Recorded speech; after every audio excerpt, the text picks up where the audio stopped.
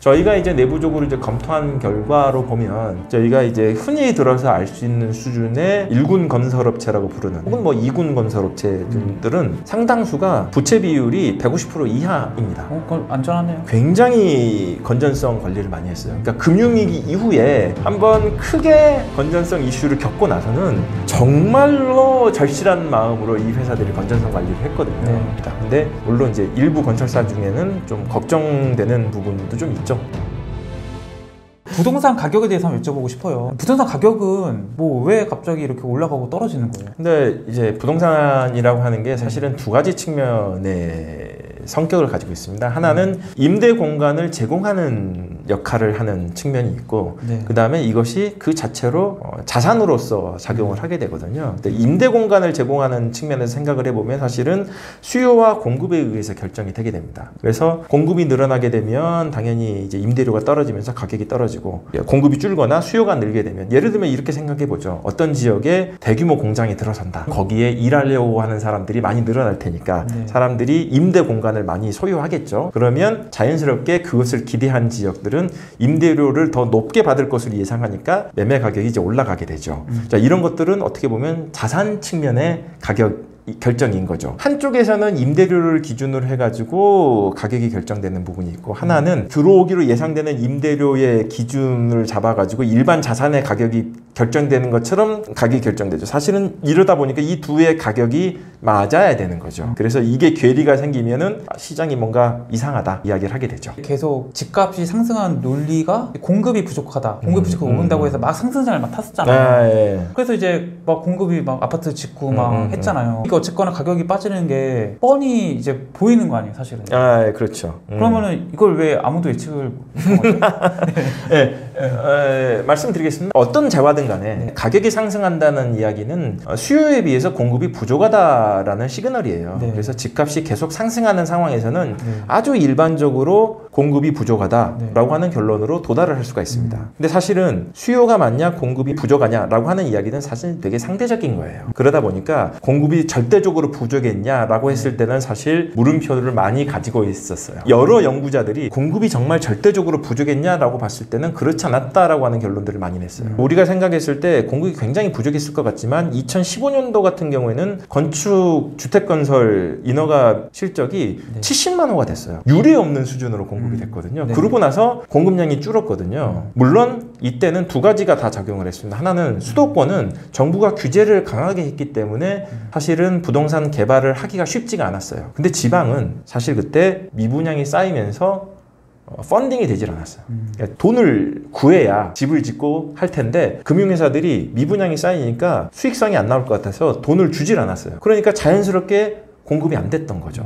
근데 이제 전국으로 이렇게 놓고 보게 되면 야 2017년 2015년에는 70만 원까지 네. 인허가가 났는데 이후로는 뭐 38만 원까지 줄었네. 그 정부가 규제하니까 공급 안 된 거 아니야? 이런 식의 이야기를 할 수가 있는데 사실 지역별로 뜯어보면 수도권을 제외한 나머지 지역에서는 가격도 빠졌었고 9년도에는 오히려 가격이 빠졌어요. 그리고 미분양도 거의 한 5만 7천 호, 6만 호 가까이. 그러니까 지금 현재 미분양은 6, 7만 8천 호 정도 되는데 네. 그 미분양에 대해서 연구자들이 그같이 심각한 상황이 아니다라고 보는 게 2017년, 18년, 19년도가 미분양 아파트가 보통 한 6만 4천 호 정도 됐었어요. 그 중에 80% 이상이 비수도권. 그러니까 사실은 비수도권 지역에서는 공급을 할 수가 없는 시장 상황이었던 거예요. 그리고 그런 것 때문에 이제 부동산 규제들을 잘 살펴보시면 아시겠지만 비수도권에서는 거의 부동산 규제가 없었습니다. 네, 대구나 부산 일부 지역 이렇게 가격이 유난히 상승하는 그 지역에 한정적으로 아주 일부 규제가 있었을 뿐이고 나머지 지역에는 규제가 거의 없었거든요. 자 그러다 보니까 이제 그런 문제가 생긴 거고. 자, 그래서 사실 이제 집값이 그러면 대체 왜 올랐냐라고 했을 때 이제 제가 개인적으로는 가장 의심하고 있는 요인 중에 하나가 금리예요. 아까도 말씀드렸다시피 이것이 부동산이라고 하는 것이 자산의 성격을 가지고 있다 보니까 네. 금리가 낮은 상태로 유지가 장기화되면 사실은 어, 향후에 집값이 쉽게 떨어지지 않을 것이다라는 예상을 다 할 수가 있어요. 음. 왜냐하면 임대료를 현재 가치로 현가화하는 게 주택의 가격인데 이때 할인율이라고 하는 것이 사실 분모에서 어, 소수점으로 작용을 하니까 얘가 조금만 움직이면 전체 가격이 크게 흔들리거든요. 그러니까 수식으로 보게 되면 얘가 이 중에 이자율의 움직임이 되게 중요한 역할을 하게 됩니다. 근데 이자율이 낮은 상태로 유지된다라고 하게 되면 임대료 수준이 조금만 올라가도 가격이 확 올라가거든요. 그렇죠. 근데 이 상태에서 경제가 특별하게 문제가 없고 그냥 안정적으로만 돌아간다라고 생각하면 그 래도 안정적으로 임대료가 상승할 것이라고 기대를 하니까 주택 가격이 계속적으로 상승을 하죠. 이요 문제가 원래는 일반적으로는 장기화되지 못 하는 구조여야 돼요. 근데 이제 글로벌 거시경제적으로 보게 되면 혹시 이제 GVC라고 혹시?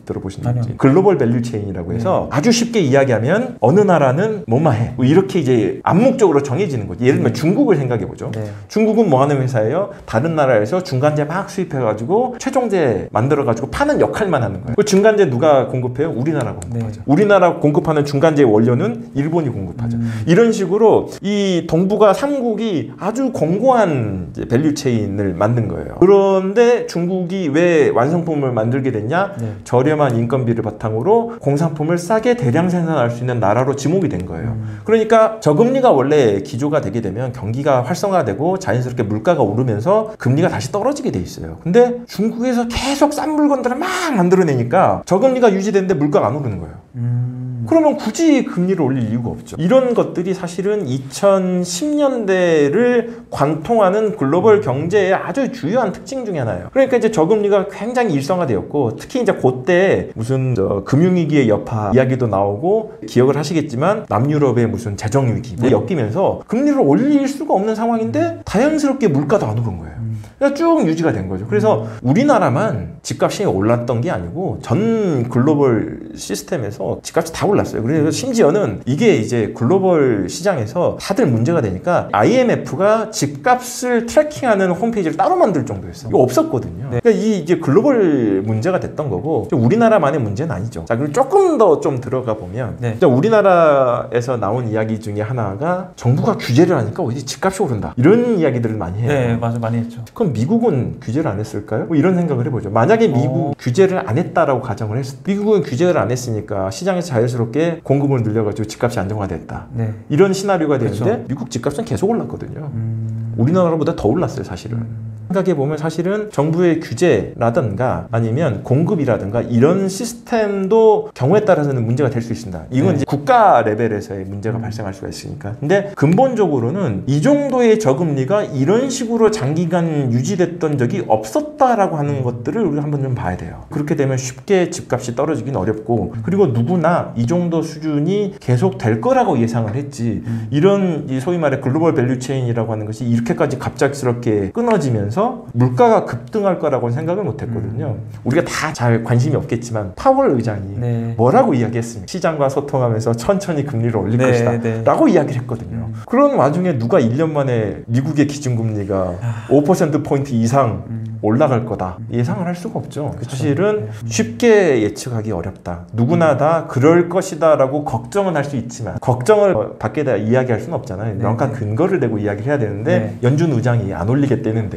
음. 누가 가가지고 많이 올릴지도 몰라요. 옛날에 보니까 미국은 막 올립디다. 이야기하기가 좀 쉽진 않죠. 그런 문제들이 좀 있었던 걸로 예, 판단됩니다. 조금 뭐 쉽게 얘기해 보면 이건가요? 그러니까 예를 들어서 5% 수준의 금리 수준이 유지되고 있을 때 여기에 이제 부동산의 수익률이 결정이 돼 있을 거 아니에요? 예. 그럼 이제 일정한 부동산의 수요량이 이제 안정되게 정해져 있는 건데 갑작스럽게 뭐 여러 가지 세계적인 요인들이 얽히면서 이제 금리가 내려간 거고 내려가다 보니까 어 그럼 이거 은행에 저축 안 되겠다. 부동산에 대한 투자 수요가 급증하면서 자연스럽게 가격이 올라갔다. 근데 지금 상황은 금리가 이제 5% 올라온 거죠. 이러면서 가격이 그 수익률을 맞추는 당연히 떨어지게 되는 거죠. 당연히 떨어지게 되는 거죠. 그래서 이렇게 떨어질 때 우리가 이론적으로 당연히 떨어집니다라고는 쉽게 이야기할 수 있지만 떨어질 때 아무 일 없을 거냐라고 생각하면 이제 큰 일이 생길 수 있죠. 그렇죠 예상을 못했던 일들이 생겼기 때문에. 지금 생기고 있잖아요 이미. 네, 사실 이제 이제 뭐 질문을 안 하셨긴 한데 부동산 PF에서 일어난 일도 다 이 건이에요. 이제 PF를 결정할 때 두 가지 요인이 있는데 네. 어쨌든 간에 이건 개발 사업이기 때문에 이익이 나와야 돼요. 그러니까 이제 이익을 할 때는 판매하는 가격 음. 그리고 들어가는 비용 네. 이걸 생각을 해야 되는데 판매하는 가격이야 뭐 그냥 시장에 따라서 움직일 수 있으니까 이건 괜찮은데 네.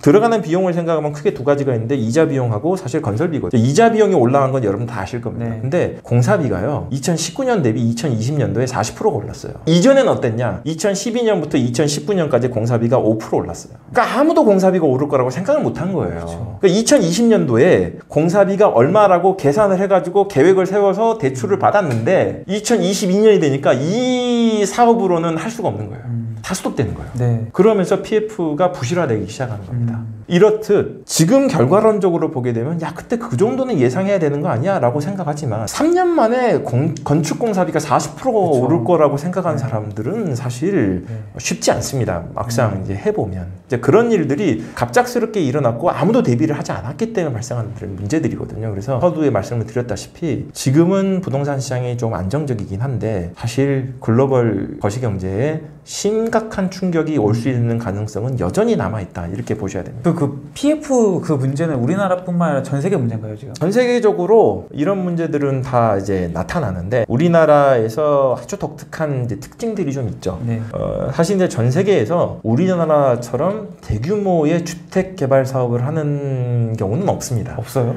예. 음. 그러니까 예를 들면 뭐 1,500세대짜리 아파트를 짓는다. 네. 이러면 비용이 조 단위로 들어가거든요. 네. 무서워서 못 합니다 이거. 음. 무서워서 할 수가 없고요. 다들 이제 이런 개발을 할 때는 임대를 할 거다라고 가정을 하고 100세대, 200세대 이렇게 순차적으로 개발을 합니다. 순차적으로 개발한 다음에 임대를 실제로 이제 운영 유지를 해서 track record를 쌓은 다음에 이 정도 임대 수익이 들어오는 확실한 자산이다. 음. 이런 것들을 시장에서 확인을 받고 음. 그게 되면 이제 더 큰 자본한테 이제 판매를 하게 되죠. 네. 이런 식으로 이제 구조화가 흔히 많이 되어 있는데 우리나라는 뭐 그동안 이런 시스템들이 다 관행화되어 있기 때문에 네. 천세대, 이천세대짜리 아파트들을 만들기도 하고. 헬리오시티 같은 경우 생각해보면 전 세대. 엄청나죠. 사실은 미국이나 이런 데서는 10개 시리즈로 쪼개가지고 개발을 했을 거예요. 그거 어떻게 그 무서워서 합니까? 그 PF 지금 상황이 이게 건설사가 어쨌거나 우리가 아는 GS, 뭐 대림, 뭐 푸르지오 뭐 여러 가지 있잖아요. 예. 그런 대형 건설사는 당연히 이제 뭐 작은 것보다는 버틸 힘이 있을 것 같은데 예. 건설사들 망하고 있는 건가요? 아니면 망하기 직전인가요? 아니면 어떻게 되고 있는 상황이에요?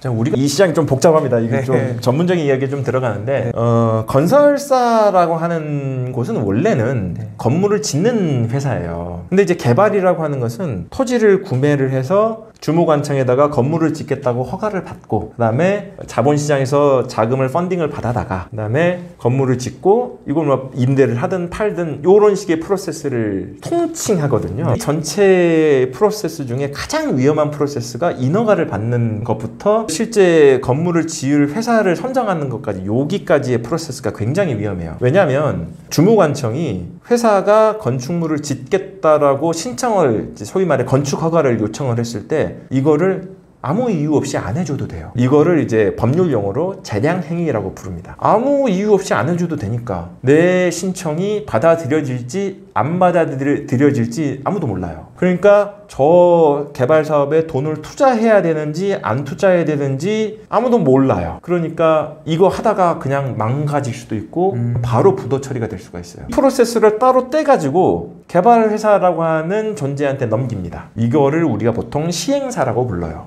그래서 시행사가 있고 이후에 인허가 다 받고 어, 금융기관들 다 돌아다녀가지고 펀딩 다 받으면 그때부터는 내가 시공을 해줄게, 건물을 지어줄게, 건설사 이렇게 이제 서로 업무가 나뉘게 됩니다. 그런 형태의 사업이 아주 일반적이긴 한데 건물만 건설하는 회사는 마진이 적어질 거잖아요. 그렇죠. 근데 회사 대기업은 다양한 포트폴리오를 가지고 있으니까 마진이 적어도 괜찮아요. 음. 근데 중견기업 이런 회사들은 그것만 가지고는 부족해요. 음. 그러니까 어떤 일을 하냐면 토지를 매입하는 것부터 시작해가지고 실제 시공해가지고 분양하는 것까지 자기가 다 합니다. 이런 것들을 뭐라고 하냐면 자체 사업이라고 통상 불러요. 이런 자체 사업을 하고 있는 건설사는 지금 현재 좀, 좀 위험한 상황이죠. 음. 왜냐하면 토지를 구입을 하고 나서 분양까지 이끌어가는 계획이 옛날에는 돈이 남는 계획이었는데 지금 돈이 안 남는 계획. 그러니까 이거 하지도 못하고 안 하지도 못하는 이 문제에 이제 봉착해 있는 거죠. 그래서 지금 뭐 중견 기업들 부도나는 일부 기업들을 보게 되면 사실 재무제표 까보면 아마 자체 사업 비중 굉장히 높았을 겁니다. 왜냐면 브랜드가 약해서 네. 그분들은 자본시장에서 펀딩 받아가지고 뭐 시행사하고 우리는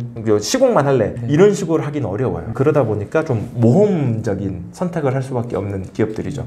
그리고 이제 망하는 이제 시행사들 이름을 자꾸 건설회사라고 이제 담아요. 네. 뭐 개발 무슨 무슨 무슨 개발 이렇게 하기도 하는데 네. 무슨 무슨 건설 이렇게 담기도 합니다. 그래서 밖에서 보기에는 이 회사가 시행을 하는지 시공까지 같이 하는지 구별하기 좀 힘들어요. 이제 그런 식으로 돼 있는데 저희가 이제 내부적으로 이제 검토한 결과로 보면 저희가 이제 흔히 들어서 알 수 있는 수준의 일군 건설업체라고 부르는 혹은 뭐 이군 건설업체들은 상당수가 부채 비율이 150% 이하입니다. 어, 그건 안전하네요. 굉장히 건전성 관리를 많이 했어요. 그러니까 금융위기 이후에 한번 크게 건전성 이슈를 겪고 나서는 정말로 절실한 마음으로 이 회사들이 건전성 관리를 했거든요. 네. 그러니까 사실 건설회사의 부채 비율이 100% 내외다라고 하게 되면 사실은 자본을 비효율적으로 사용하고 있는 겁니다. 건설회사는 원래 대출을 많이 받을 수밖에 없어요. 건설이라고 하는 업태가 단기간에 많은 비용이 소요되기 때문에 이거를 자기 돈으로 계속 운영해서는 자본 효율이 떨어지거든요. 그래서 차입을 할 수밖에 없는 성격인데도 불구하고 네.